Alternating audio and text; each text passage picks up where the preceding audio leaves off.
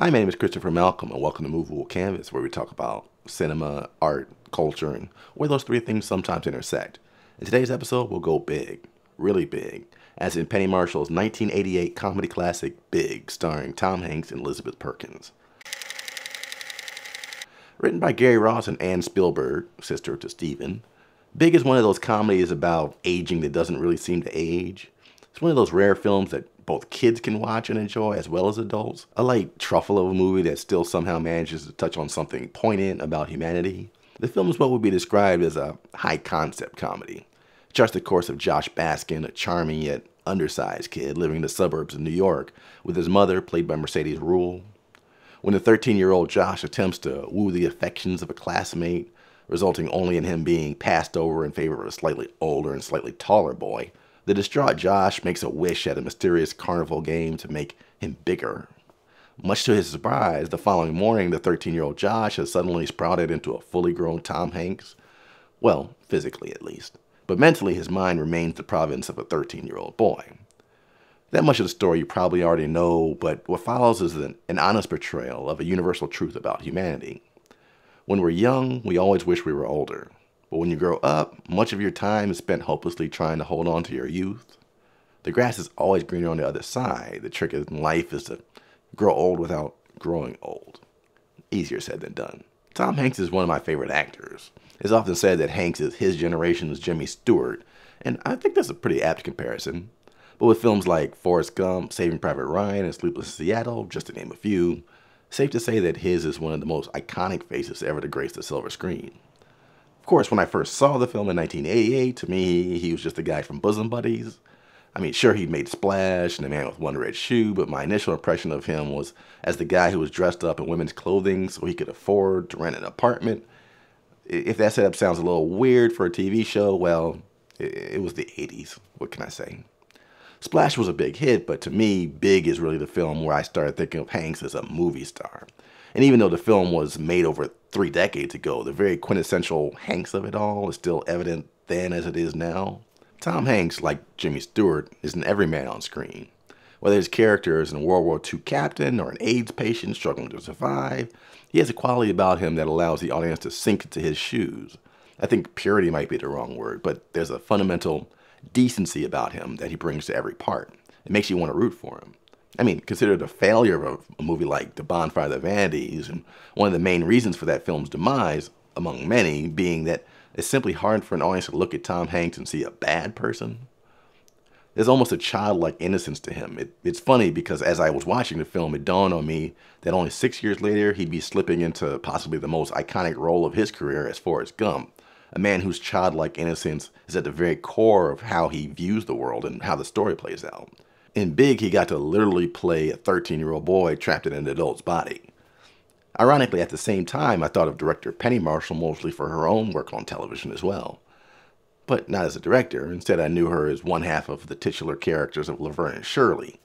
I guess she and Tom Hanks must have gotten along as they both would pair again in another of her greatest hits, A League of Their Own. In Big, what the two of them found was a story that perfectly illustrated one of the cruelties of getting older. It's not just the horror show that happens to our bodies as we begin to age.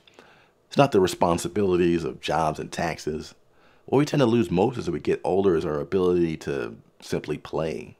And worst of all, this playfulness tends to slip away in the darkness of the night when not even looking. One of my high school classmates was the daughter of Billy Crystal, and as such, he gave the commencement speech at my high school graduation. I don't remember a lot of speeches I heard in high school, but I do remember his. In the speech, he told a story about him being a child and first seeing a man landing on the moon.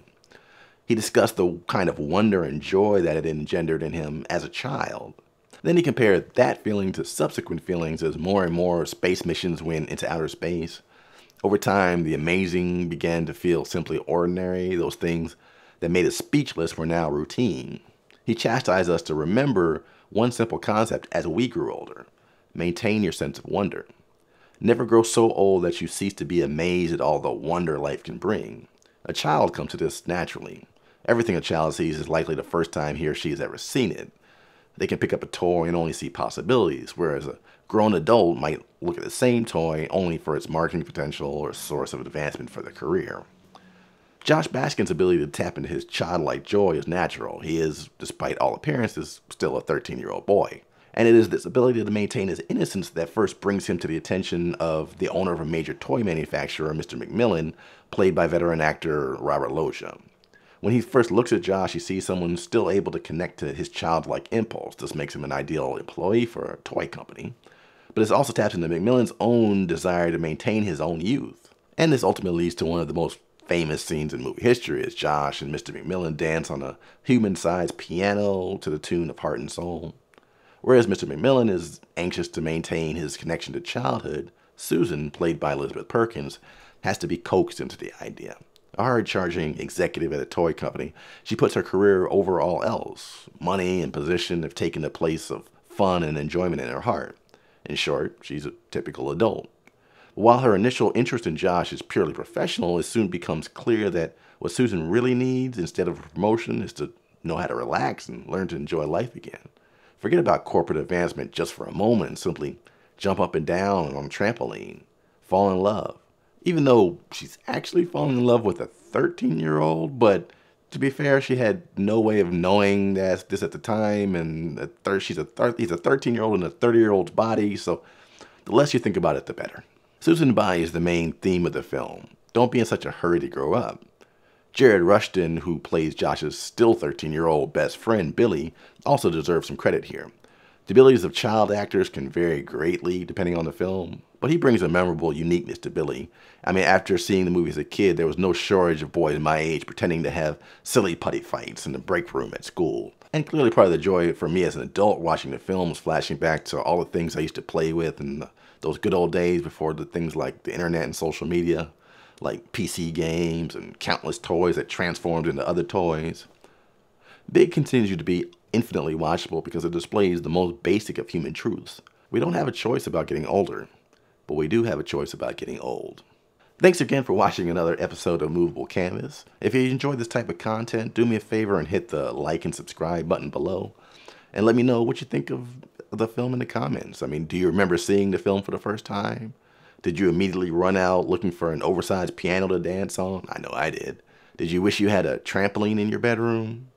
Would love to know what you thought of the film in the comments, but until then, thanks for watching and, well, stay young forever.